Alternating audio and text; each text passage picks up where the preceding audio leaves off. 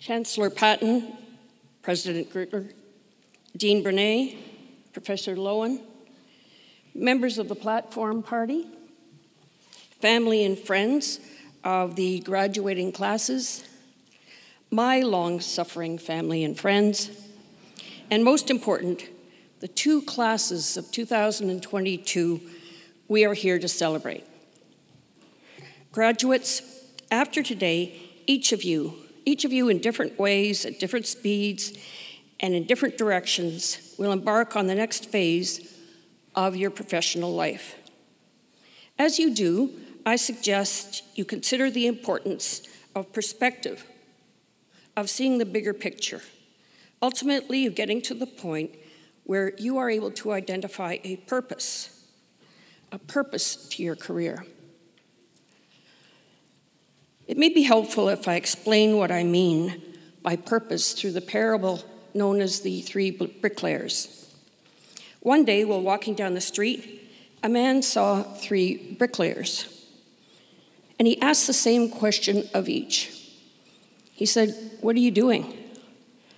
The first responded gruffly, I'm earning five bucks an hour. Sounding bored, the second said, I'm putting bricks on top of each other. The third paused and then, with considerable pride, said, I'm helping construct a beautiful edifice. Each bricklayer was doing the same task. However, only the third, only the third was able to see the bigger picture, identify the purpose in what he was doing. Personally, I wish that earlier in my career I'd thought about the bigger picture. It would have made the path from where you are now, all of you are now, young and full of promise, to where I am now, old and full of aches and pains, much more meaningful. A bit about that path, and you've heard a little bit already, but I'm going to put my own spin on it. After I obtained my commerce degree, I took the most logical, the most logical next step. I ran a fishing camp on an island in northern Ontario. What followed was 100 hour work weeks, cooking on the cook's day off, bartending on the bartender's day off, pulling snakes out of water pumps. Okay, one snake out of one water pump. but I think you get the picture. It was interesting, but not pretty. My perspective at the time was that I had a job. Yeah, a different kind of job, but I didn't see anything more than that. I didn't even think about how those years would contribute to what I was to become. But I now see that in helping people enjoy their time at the lodge, even when the fish weren't biting, I was developing skills important to the path that lay ahead. After two years running the camp, a bus trip back to Toronto, a job as a cocktail waitress, and finally four years at U of T Law plus bar ad, and during which I gave birth to two children I found myself doing litigation initially in two large law firms. I then started my own firm just as I welcomed my third child into the world. For many reasons, many reasons. It gives me great pride that my youngest formed part of today's procession. During the years I practiced law, the clearer picture of my career emerged. Sure, I was earning an income. Sure, I was completing work that needed to be done for my clients. Both were important. But more important, more important was the, that I was helping people put problems behind them. What followed was 25 years on the bench, an amazing part of my life, during which I had the privilege of having a more direct role in playing in helping people move past their problems. Of course, they didn't all agree with the help I provided, but at least in most cases, the turmoil that brought them before the court came to an end. On occasion, I even had the privilege of making a bigger contribution to the edifice, of helping people in a broader way, A good example is the decision in MNH, about which you've already heard. MNH had a welcoming impact on our country as it led to the Halpern decision that legalized same sex marriages and near equality for all sexes and genders. Every Canadian, every Canadian benefited from these decisions. My additional benefit was that MNH was a significant factor in my being appointed to head the Independent Civilian Review into Missing Person Investigations. The review was prompted in large part by the tragic deaths of members of Toronto's LGBTQ2S plus communities. Concerns were raised about whether the response of the Toronto Police to reports of missing persons was tainted by systemic bias or discrimination against members of these communities, as well as marginalized or vulnerable communities generally.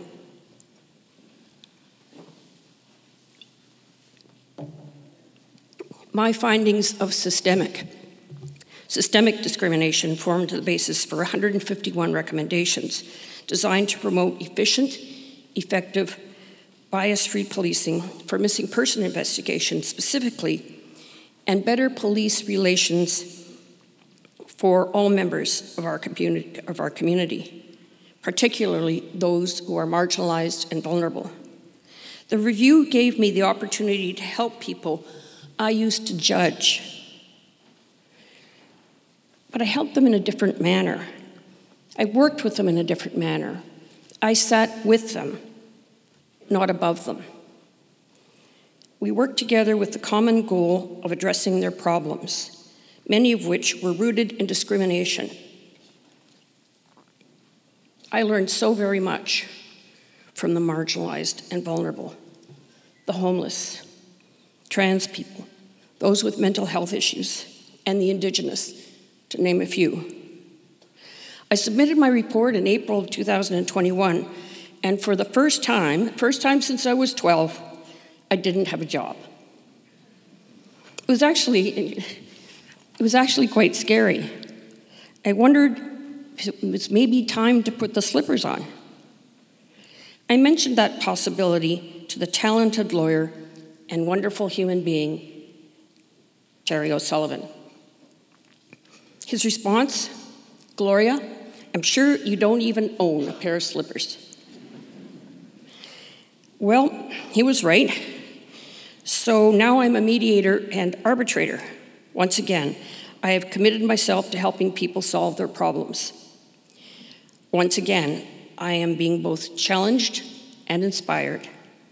Clearly, clearly, this is what I was meant to be doing during the last 25 years of my career.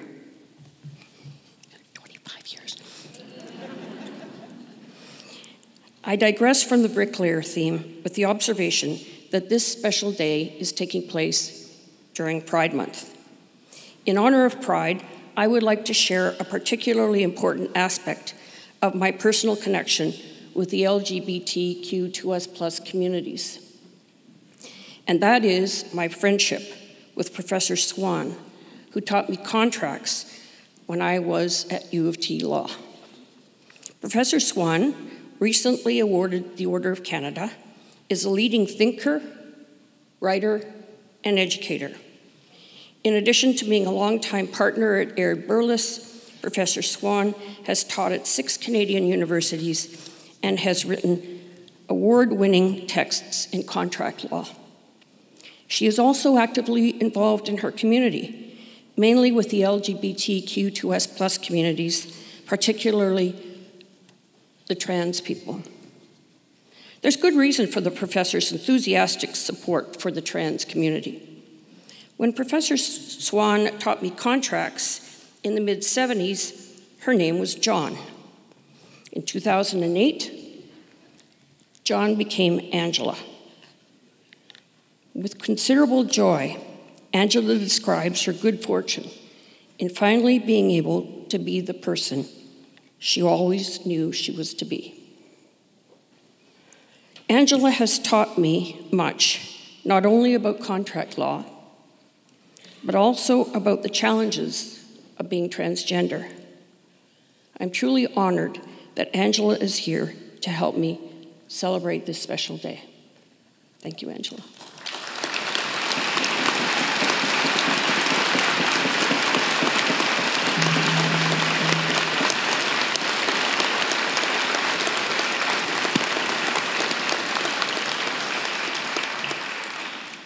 You are probably wondering how I'm ever going to get from this digression, motivated by a desire to acknowledge Pride Month and Angela, back to my main theme, the one linked to the guys with the bricks. Not being able to come up with a clever segue, I'm just going to go straight back to the third bricklayer, the one who saw the bigger picture, the purpose, the purpose in what he was doing. As a lawyer, a judge, a reviewer, and now a mediator and arbitrator, I have earned a living performing tasks related to the law. But the bigger picture. The bigger picture, one that has given me a great sense of fulfillment, is that I have been part of a process that helps people put their problems behind them.